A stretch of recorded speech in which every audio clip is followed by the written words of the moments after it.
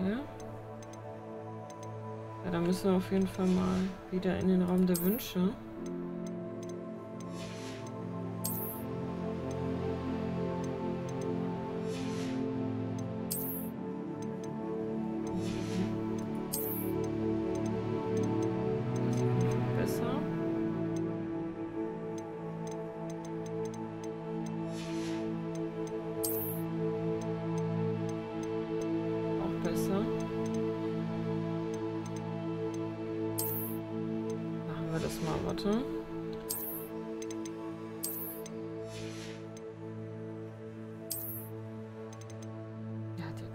Eigenschaften, dann nehmen wir den auch.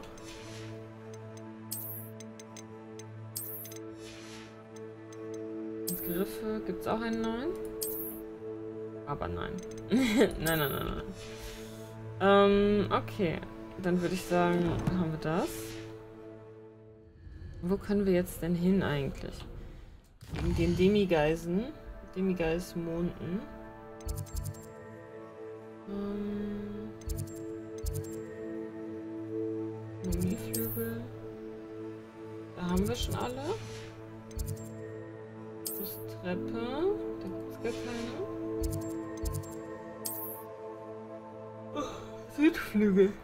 Da ist eine. Hm.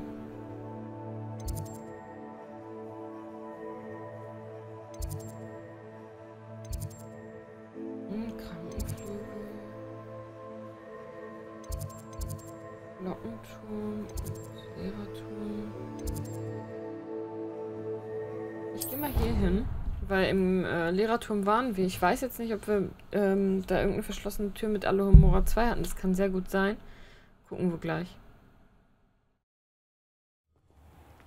Aber ich möchte einmal alles durchgehen. Oh, guck mal, hier ist wieder so eine Flugstrecke, so eine, die mich ärgert. Jetzt schon. Protego! Revelio!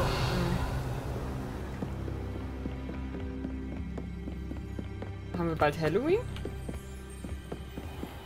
Ich glaube schon, ne? Guck mal. Das ist total toll dekoriert. Sind wir schon so lange hier? Ah, jetzt sind wir auch hier. Guck mal. Da. Alohomora!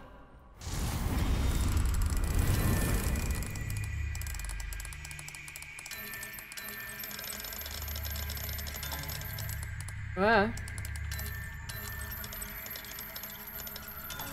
Knöpfe gedrückt.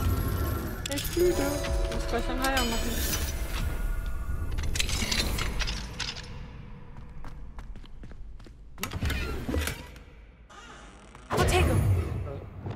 Lumos! So, was ist das denn? Im Außenbereich. Okay.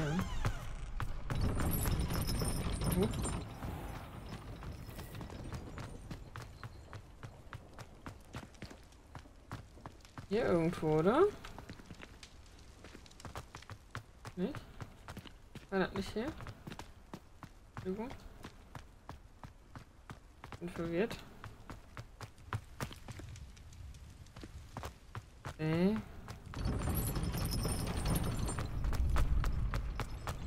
Ist hier noch einen anderen Hof?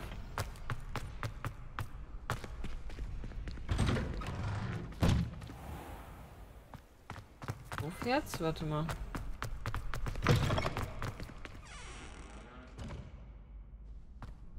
Okay, ich weiß wo. Ich hab nicht vernünftig geschaut.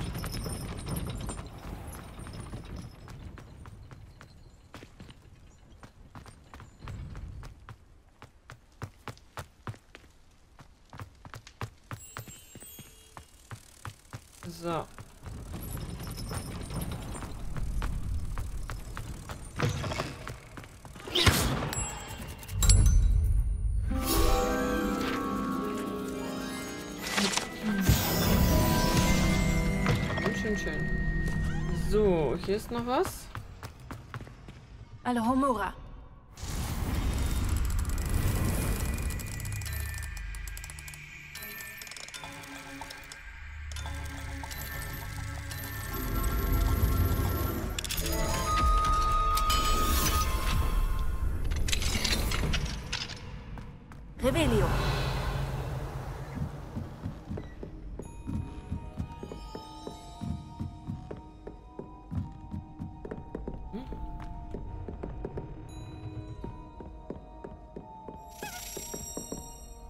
Haben wir den letzten?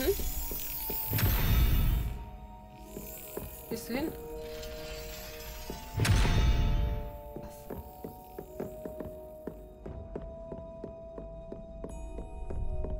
Der ist hochgeflogen?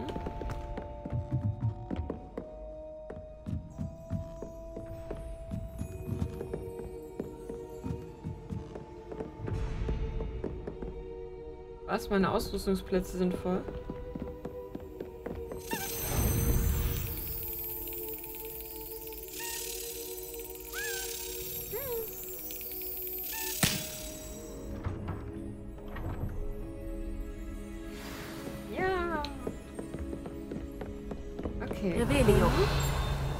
Ding.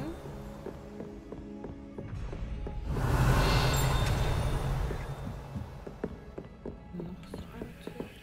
Was denn? Und der Drachen. Oh, warte, was war das denn?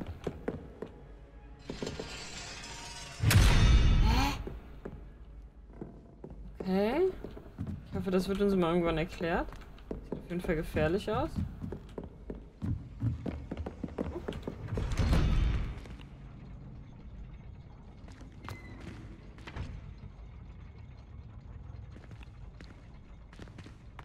Ich nicht. Revelio.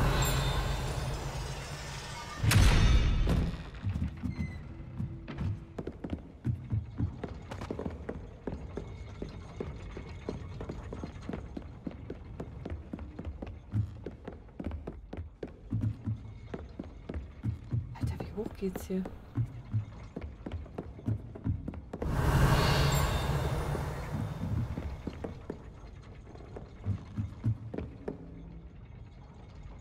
Revelio. Ist jetzt hier der Krankenflügel?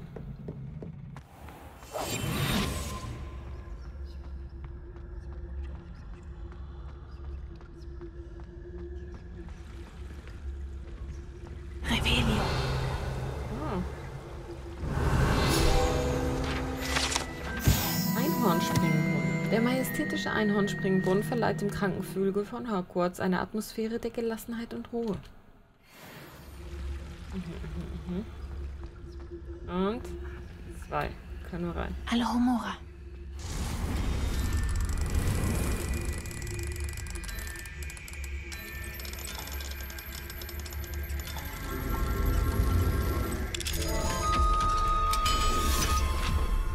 Bitteschön.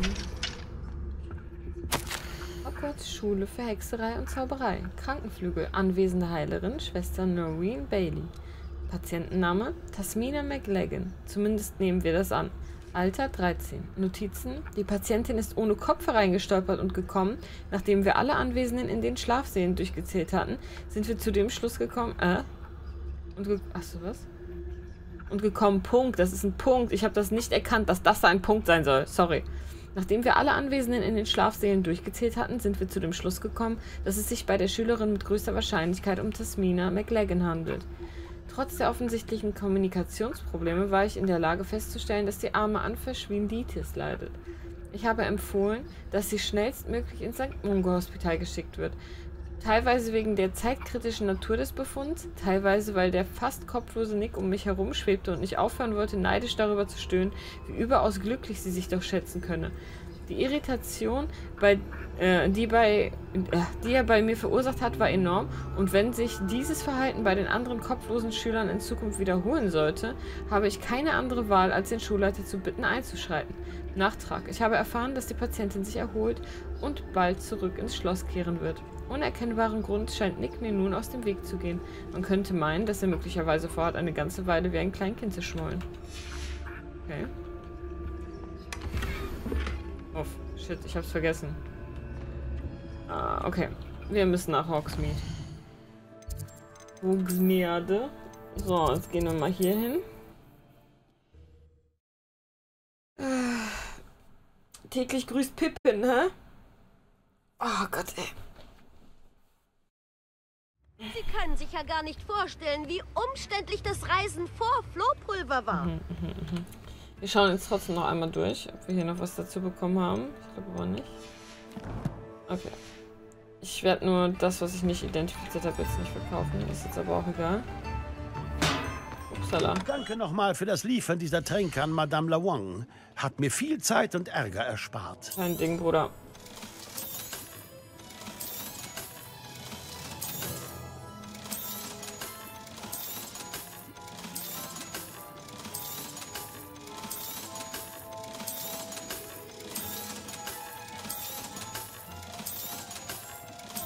So.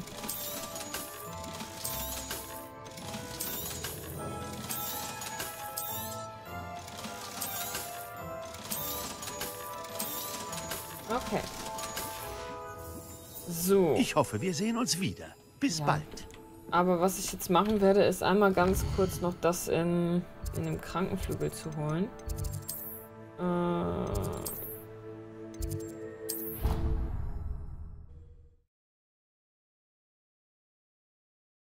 bin ich dann automatisch versteckt oder können die mich dann sehen?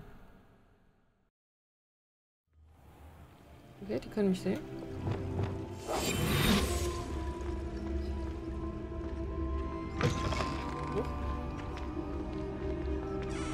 Upsala.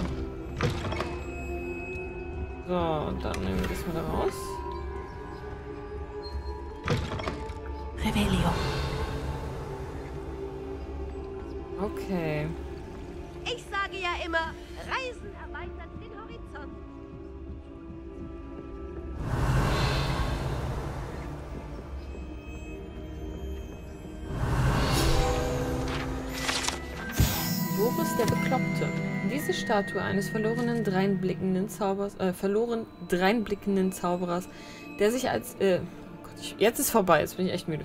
Diese Statue eines verloren dreinblickenden Zauberers, der als Boris der Bekloppte bekannt ist, verwirrt die Schüler von Hogwarts seit Ewigkeiten.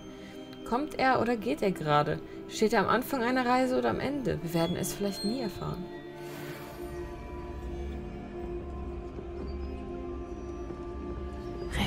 Nicht Boris der Bekloppte, das ist Boris der Bekloppte, aber. Muss man anders betonen. Oh.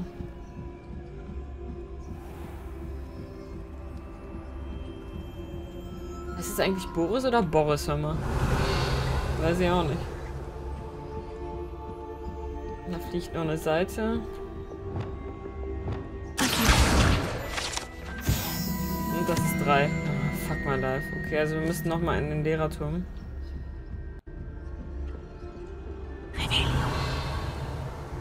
Wo klingelt's denn? Klingelt das hier? Ist das wegen hier?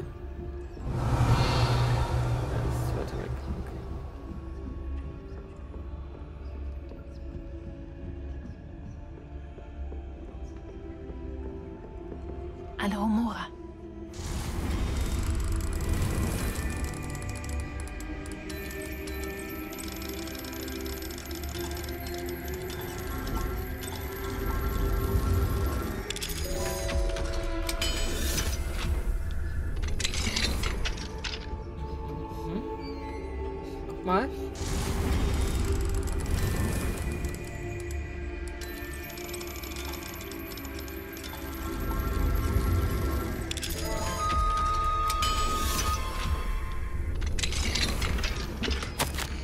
Mudiva, ich habe heute Morgen deinen Brief erhalten und freue mich sehr zu hören, dass es dir und Nazai in Hogwarts gut geht. Auch wenn Nazai in letzter Zeit ein wenig schwierig war. Ich nehme an, das war zu erwarten, denn unsere beiden Töchter sind, wie soll ich sagen, sehr willensstark. Wir vermissen dich in Ouaga- Ouagadougou. Es ist nicht dasselbe ohne dich, aber wir verstehen, warum du den Drang verspürt hast, weiterzuziehen. Ich glaube nicht, dass ich selbst unter diesen Umständen hier hätte leben, äh, bleiben können. Das Leben treibt uns alle auf so unvorhersehbare Pfade. Man weiß nie genau, was einen erwartet. Nicht einmal diejenigen, die, wie du, das innere Auge haben. Aber ich bin zuversichtlich, dass dir und Nazai viel Gutes bevorsteht. In Hogwarts oder wo auch immer du hingehen magst. Ich hoffe, wieder von dir zu hören und wünsche dir in der Zwischenzeit viel Glück. Deine treue Freundin Amali. Soll ich dir was sagen? Das ist total, total sinnlos, dass wir diesen Brief lesen können. Sie kommt aus Ouagadougou. Was sprechen die da? Englisch? Willst du mich verarschen? Die schreibt doch keinen Brief auf Englisch hier aus Ouagadougou. Wie, kann, wie können wir denn ihre private Korrespondenz mit ihrer Freundin aus Ouagadougou, ja, die Amali, wie, wie können wir das denn entziffern immer? Das ist schon mal ein bisschen, keine Ahnung. Wir haben ja keinen Translator-Spruch gelernt, oder? Das ist ein Hogwarts-Translator.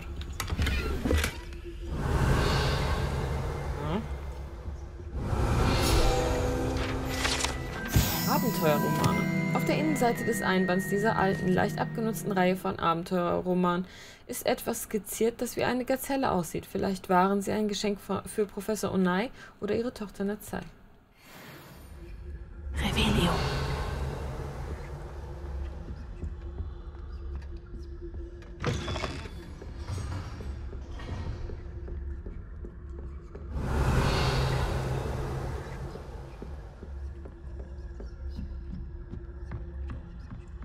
Habe ich wohl was vergessen, aber.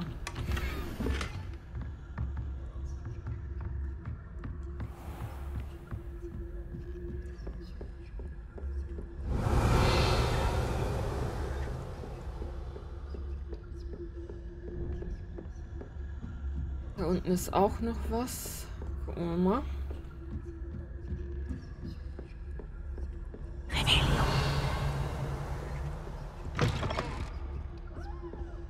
Das sind eine 3. Ne, 2. Okay. Alohomora. Aber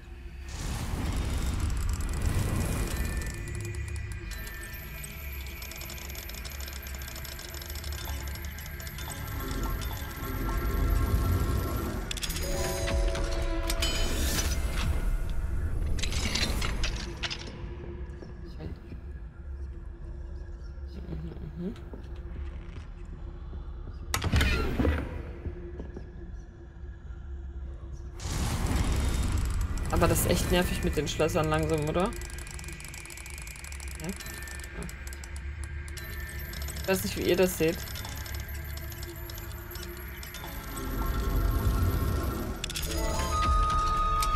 Ich schlafe dabei fast ein, ey, ehrlich. Ich muss, das, äh, ich muss die Aufnahme jetzt langsam beenden. Sonst nichts mehr. Ich mach den Turm nur eben fertig. Hm.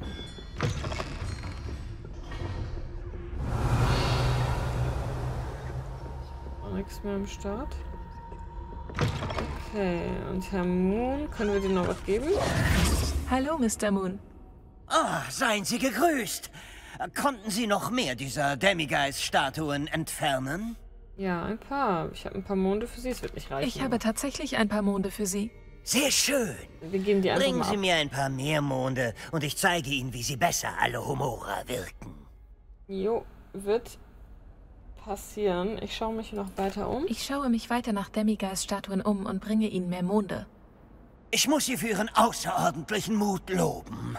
Oh, vor allem, weil sie nur nachts gesammelt werden können. Mhm. Ich bin schon super mutig, oder? So.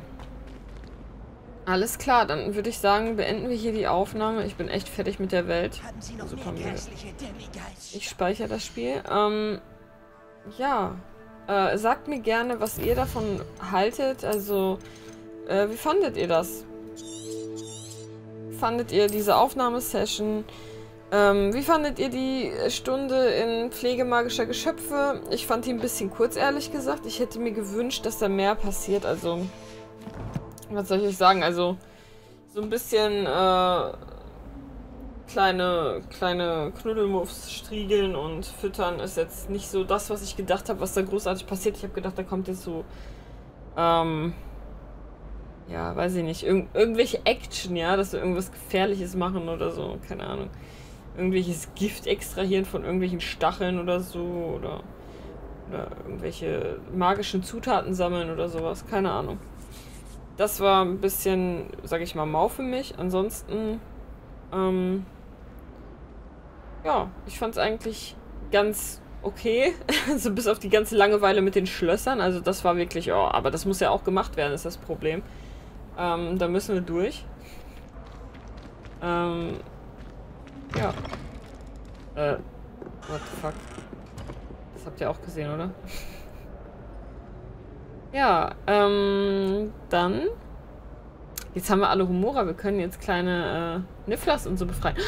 Kann das sein, dass wir dann gezähmte Nifflers bekommen, weil wir die befreien aus der Gefangenschaft. Boah, wenn ich nicht so müde wäre, ne, ich würde sofort in den scheiß verbotenen Wald jetzt hoppeln. Ich glaube, das ist das nächste, was wir machen, auf jeden Fall. Ich, ich will in den verbotenen Wald und dann holen wir uns so Nifflers und alles, okay? Ja, auf jeden Fall, ähm, Dankeschön fürs Zusehen, wie immer.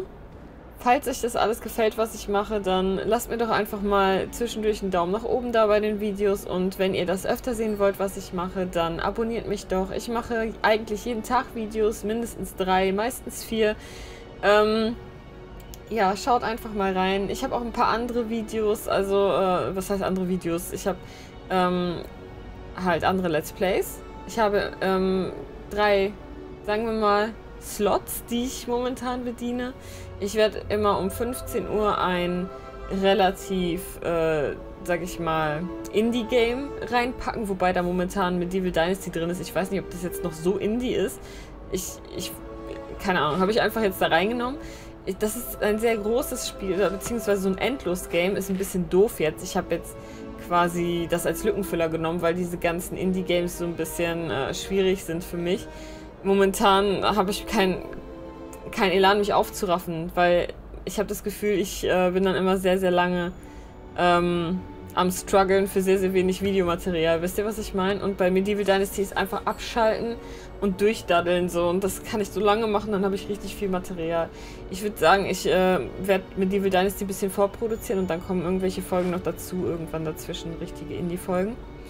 Ja, und auf dem zweiten Slot um 18 Uhr, da mache ich momentan äh, immer irgendwelche Retro-Spiele, das heißt alte Spiele, ähm, nicht Spiele im Retro-Stil, sondern Spiele, die älter als, weiß ich nicht, 5, 6 Jahre sind und so. Und ähm, wo ich jetzt auch nicht sagen würde, das war ein großer Titel oder so. Ähm, jetzt ist es so, große Titel, die alt sind, können entweder auf dem Slot landen oder auf dem, wie Hogwarts Legacy jetzt auch, bei dem großen Titel-Slot. Ich habe für 20 Uhr einen Slot, da läuft jetzt momentan Shadow of the Tomb Raider und eben auch Hogwarts Legacy. Hogwarts Legacy ist was Besonderes, Leute. Auch in Hogwarts Legacy werde ich immer geschminkt sein. Das ist mir ein Privileg, ja, dass ich dieses Spiel spielen darf und ich möchte so gut aussehen, wie ich kann für dieses Spiel, okay? Und deswegen, äh, ja, keine Ahnung, wenn ihr mich abgammeln sehen wollt, dann guckt die anderen Videos. und ansonsten, ähm, ja, äh, das sind momentan die, die, die Sachen, die ich mit Let's Plays mache. Und ich habe jetzt auch angefangen, ein Let's Paint zu machen. Ich weiß es nicht so besonders professionell, wie es jetzt momentan ist. Ich äh, klemm halt mein Handy irgendwo über den Tisch und filme, wie ich male, ja. Und dann schneide ich das zusammen und äh, Speed Motion äh, baller ich drauf. Also ich, ich verkürze halt die Zeit für euch, damit ihr keine 14 Stunden warten müsst, bis das Bild fertig ist und ich babbel euch dabei zu. Ähm, ja, also falls euch sowas gefällt, schaut mal rein. Ich habe da jetzt, äh, ich fange jetzt an, kreativen Scheiß auch ein bisschen hier hochzuladen. Ähm, ja, und lasst mir auch gerne einfach mal Kommentare da, damit ich weiß, was ihr davon haltet, ne? Ähm, weil nur so kann ich überhaupt was anpassen, ja? Also ich, ich kann nur mir irgendwie vorstellen, was ich gerne schauen wollen würde und das so auf euch münzen. Aber ob das wirklich so ist, ob ihr das wirklich sehen wollt oder ob ich einfach nur sehr speziell bin, und dann denke, ich, ich würde das gucken, also müsst ihr das auch gucken. Ne, das, zwei, das sind so Sachen, ne? Ja, brauchen wir gar nicht diskutieren. Aber erzählt's mir einfach, dann weiß ich's. Und ansonsten vielen lieben Dank. Falls ihr bis jetzt noch meinem Gelaber zuhört, dann großen Respekt dafür, ja. Und ich hoffe, wir sehen uns beim nächsten Mal. Haltet die Ohren steif. Bye, bye.